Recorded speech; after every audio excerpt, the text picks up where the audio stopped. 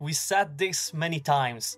The inversion time is one of the most important parameters in MR imaging, and particularly when manipulating a sequence that many MRI operators are definitely familiar with. And of course, I'm talking about the STIR sequence. So last on our usual MRI poll, we decided to ask to our community what inversion time is typically used to null the fat signal when acquiring a STIR sequence at 1.5 Tesla. We had a bunch of different options as you can see here, starting with relatively low values from 130 milliseconds to 180 milliseconds and going up to values exceeding 500 milliseconds. So what is the right answer? We explained on our YouTube channel that the inversion time is the delay between the 180 degree inversion pulse and the moment where the signal is sampled.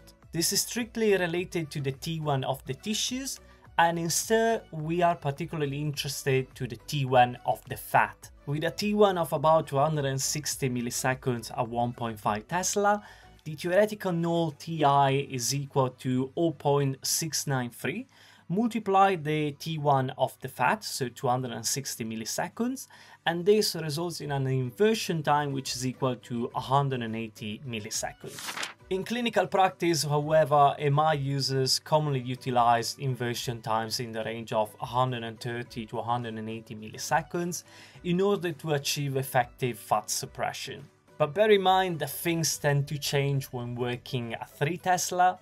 T1 relaxation times increase as B0 increases, so the T1 of the fat is longer at 3T. That means that in order to achieve effective fat suppression, we need to use higher inversion times, typically in the range of roughly 220 to 260 milliseconds. Other tissues might require much longer inversion times for accurate suppression, with some clinically relevant null points even exceeding 500 milliseconds. And that was all from the Everything MRI team. Always check that the inversion time is correctly set on your MRI protocols, and we'll see you very soon with another video completely focused on MRI education. I'll see you around.